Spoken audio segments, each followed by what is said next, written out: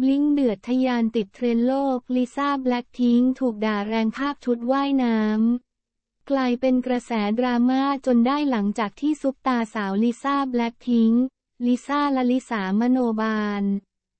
หย่อนภาพแฟชั่นชุดบิกินี่สีเขียวเหนียวซับ จากทริปเที่ยวพักผ่อนใน Ionian Island ประเทศกรีซ หลังจบการทัวร์คอนเสิร์ตแต่ไม่วายกลับเกิดประเด็นร้อนเมื่อมีแอนตี้แฟน เข้าไปคอมเมนต์หยาบคาย ไม่เหมาะสม ด้วยข้อความว่า she look terrible เธอดูแย่ พร้อมกับอีโมจิรูปปืออ้วกและชูนิ้วกลาง แม้ข้อความดังกล่าวจะถูกลบไปในเวลาอันรวดเร็ว แต่ก็มีคนแคปไว้ได้ทัน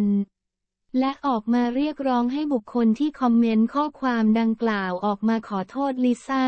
จนเกิด APOLOGIZE to ลิซ่า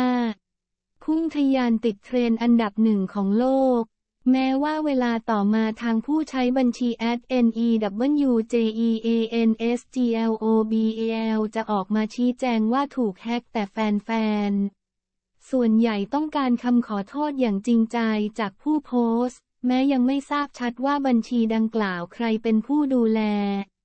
แต่ช่วงที่เข้าไปคอมเมนต์อาจลืมสลับแอคเคาท์จนกลายเป็นดราม่าเดือดขึ้นมา